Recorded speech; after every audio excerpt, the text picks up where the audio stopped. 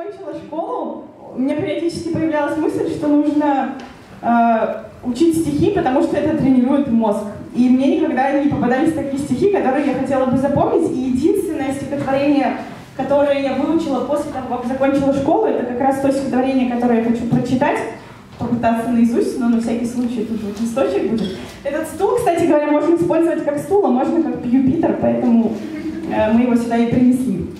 А в процессе подготовки к этому мероприятию я обнаружила, что стихотворение написано вовсе не тем автором, которого я считала. Я думала, что его читает и написала Вера Полоскова, это современный, крайне современный поэт. А выяснилось, что это Дмитрий Быков, чуть менее современный, но тоже э, живущий вместе с нами человек. Может быть, вы видели видеоверсию этого стиха, но только страшно, правда. Начинаю. Вот, э,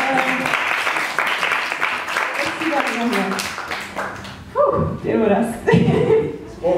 Поехали. На самом деле, мне нравилась только ты. Мой идеал и мое мерило.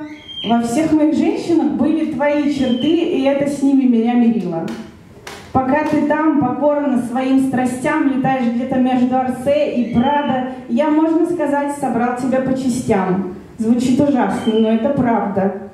Одна, как ты, со сдувает прядь, другая вечно ключи теряет. То, что я все это вместе не мог собрать, так Бог ошибок не повторяет. Одна курноса, другая с родинкой на спине, третья привыкла все принимать как данность. Одна не чает души в себе, другая во мне, вместе больше не попадалась. И даже твоя душа, до которой ты допустила меня раза три через все препоны, осталась здесь, воплотившись во все живые цветы, все неисправные телефоны.